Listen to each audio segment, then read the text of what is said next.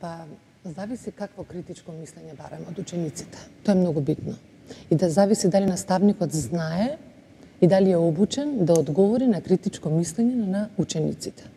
Значи, ако нас некој ученик не искритикува или даде некој критички осврт, секој наставник треба да е спремен да даде одговор на тој критички осврт. Мислам дека тука лежи проблема. Дали сме ние спремни да дадеме критички осврт? Мислите како наставници? Како наставници, да. А во таа смисла е потреба на едукација, тренинзи? Да. Многу тренинзи, многу едукација, многу спремност. Наставникот мислам дека денес кај нас многу малку време посветува на едукација, посветува на себе. Може би еден од проблемите Нема време или Може би еден од проблемите е таа бирократија.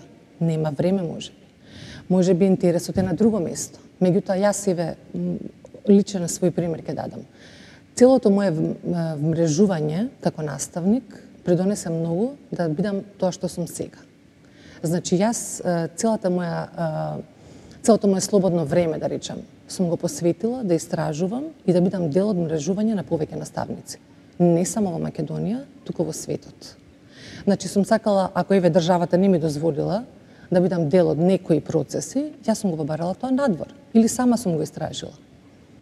Ме разбирате? Да. Значи, се е до индивидуата. Но не, но не е систем кој Системски кај нас не е решено, тој проблем. Решава, да. Системски тој проблем кај нас не е решен и многу многу не достига.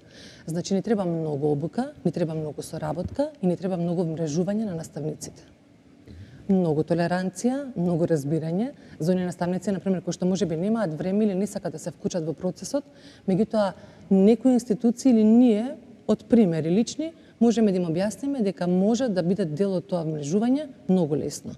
Многу луѓе се, праш, се плашат од непознато, така? Меѓутоа јас еве со господинот Кирил Барбарев се познаваме од тој амбасадор на асоциацијата на, на најдобри наставници од XU Значи, јас за таа асоциација немаше да дознам ако не седнав сама да истражам што се случува, кои се критериумите, бидам дел од таа асоциација. За да подоцна таа асоциација мене ми избере како најдобар наставник на XU. Значи, може би е 50% до нас, меѓутоа 50% до системот. Колку системот нас ни дозволува да бидеме дел од овие работи, колку ни дава слободно време, а колку и самите ние ќе потегнеме иницијатива да бидеме дел од некоја иновативност, од нови моменти, од само од професионален личен развој. Да, да